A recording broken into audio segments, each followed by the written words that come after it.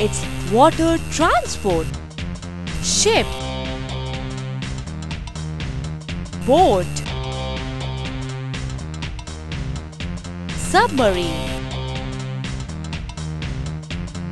Steamer. Houseboat. Houseboat has a house in it.